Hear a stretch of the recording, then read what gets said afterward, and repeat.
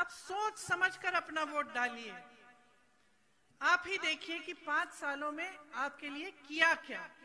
हाँ ये सच है कि बड़े बड़े नेता हिमाचल के हैं, लेकिन उन्होंने अपने लिए किया कि आपके लिए किया। यहाँ के मुख्यमंत्री हैं। क्या किया है इस पूरे ज़िले के लिए?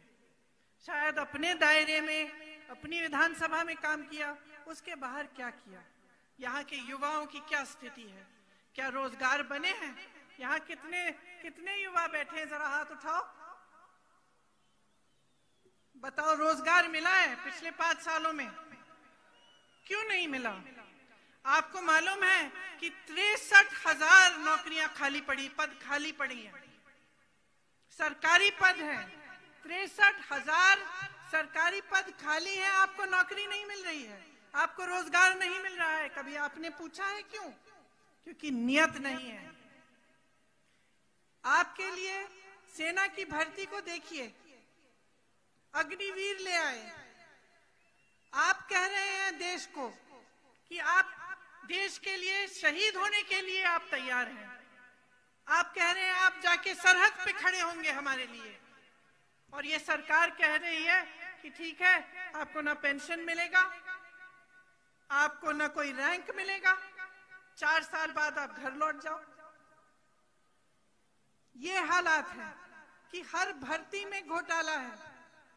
चाहे यूनिवर्सिटी के शिक्षकों की भर्ती में घोटाला है, चाहे पुलिस की भर्ती में घोटाला है तो क्या किया है नौजवानों के लिए? वही नौजवान जो इस प्रदेश को बनाने वाले नौजवान हैं, जिनका भविष्य इस प्रदेश से जुड़ा हुआ है, देश से जुड़ा हुआ है। उसी तरह से आप देखिए, पिछले पाँच सालों में कमर तोड़ महँगाई है। दूध, दही, आटा, सरसों का तेल, पेट्रोल, नाम लीजिए, महँगा हो गया। जीएसटी लगा दी। यहाँ पे सेब के बागबान वाले हैं। आप जानते हैं कि उसके पैकिंग के गत्ते पे भी जीएसटी बढ़ा दी है। तो हर तरफ़ से आपको मारा जा रहा है। चाहे महँगाई से, बेरोजगारी से यहाँ के कर्मचारियों ने इस प्रदेश को बनाया। शायद इस प्रदेश में सबसे ज़्यादा कर्मचारी होंगे पूरे देश भर में से, अगर प्रतिशत देखा जाए। लेकिन आज सरकार क्या कर रही है? आपकी पेंशन छीन लिया तो आपकी पेंशन भी छीन ली, आप ज़िंदगी भर काम करेंगे और सरकारी नौकरी के लिए क्यों चाहते हैं लोग सरकारी नौकरी?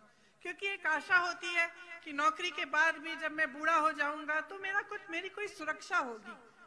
एक सिक्योरिटी होगी। वो भी छीन लिए आपसे। तो बेरोजगारी है, महँगाई है। तमाम स्कीमें इनकी ऐसी हैं जिनसे आपकी भलाई नहीं होती। इनके बड़े बड़े उद्योगपति मित्रों की भलाई होती है। आप बागबान के मालिकों से पूछिए, किसानों से पूछिए। दाम कौन तय कर रहा है आज फ़सल का? क्या आप तय कर पा रहे हैं? नहीं कर पा रहे हैं? बड़े बड़े उद्योगपति हैं, उन्हीं के कोल्ड स्टोरेज वही तय करेंगे दाम। आपसे खरीदेंगे नब्बे रुपए में और जाके बेच देंगे कितने में ही। जितना उनका जी चाहे। तो ये स्थिति है। और जब ऐसी स्थिति आ जाती है एक प्रदेश में या एक देश में तो जनता को जागरूक होने की बहुत ही ज़्यादा ज़रूरत है। आप मंडी की अर्थव्यवस्था को देखिए। आपकी अर्थव्यवस्था, खेती बागबानी सरकारी कर्मचारियों पर निर्भर है। सेब टमाटर का आपको सही, सही दाम नहीं मिल रहा है। कोई फ़ूड प्रोसेसिंग यूनिट यहाँ बनाया नहीं गया। यहाँ के युवाओं के लिए रोज़गार नहीं मिला।